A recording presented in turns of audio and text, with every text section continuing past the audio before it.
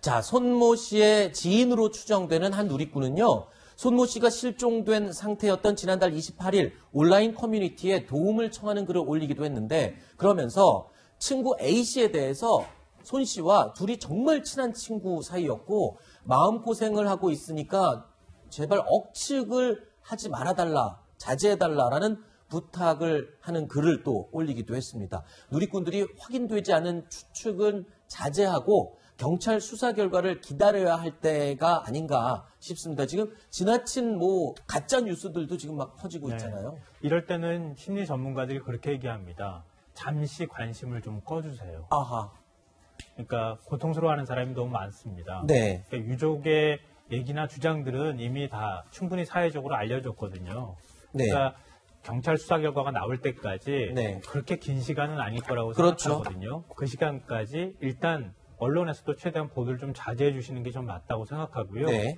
어, 다, 만 이제 그런 건 있겠죠. 유족 입장에서는 좀 더 많은 사람들한테 알려져서 목격자가 나오길 바라는 마음이 있기 때문에 네. 그런 것들은 인터넷이나 이런 걸 통해서 활동하면 될 거라고 보고요. 네. 지금도 사회적으로 충분한 관심을 갖고 있으니까요. 네. 그런 부분이 좀 필요하다고 보고요. 또 하나는 자 이번 사안이 좀 궁금해서 인터넷 뭐 댓글을 좀 찾아봤어요. 잘 안 보는데 보니까 이미 친구는 다 그 범인이 돼버린 거예요. 네.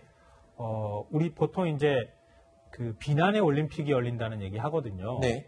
그 사람들이 이미 의심 가는 정황이 드러났기 때문에 누가 더, 더 강한 비난을 쏟아냈느냐. 네. 이런 것에 대해서 다른 사람이 공감을 더 많이 표현하니까 댓글이나 이런 데에서 너무 과격하거나 아니면 가짜뉴스성 의심스러운 얘기들을 막 쏟아내요. 네. 근데 누가 더 그걸 강하게 표현하냐가 오히려 더 추천을 받거나 이런 현상이 나타나기 때문에 네. 그럴 때 훨씬 더 당사자들이 고통스러워할 수도 있으니까 네. 지금은 부디 좀 자제하고 네. 관심을 잠시 좀 꺼주시는 게더 저는 더 바람직하다고 생각합니다. 네.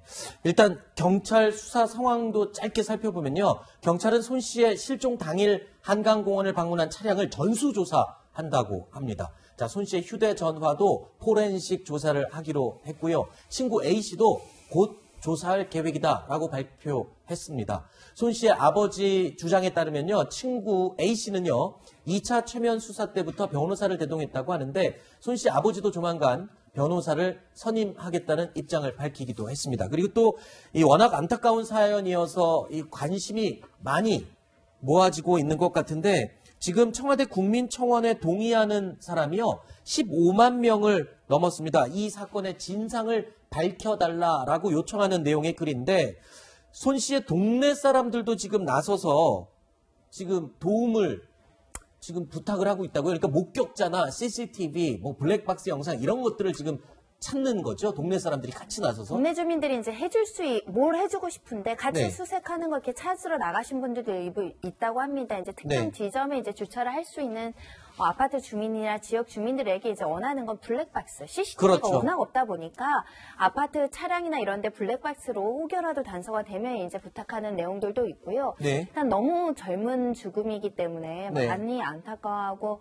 어, 슬퍼하고 있는데 사실은 앞으로는 이런 일이 정말 재발되면 안 되지 않겠습니까? 그렇죠. 평소에 제가 저기 막 자주 가는데 문제는 밤늦게 12시, 1시, 3시에도 술을 팔아요. 아하. 사실 선진국 가면 그 새벽에 공개된 저런 공원에서 술안 파는 국가들도 그렇죠. 있거든요. 그런 점들을 이번에 우리가 좀 되돌아보고 음. 제도 개선해야 되지 않을까 합니다. 알겠습니다. 자, 오늘 준비한 Q&A 내용 세 분은 여기서 인사드리고요. 다음에 또 뵙겠습니다. 오늘 말씀 고맙습니다.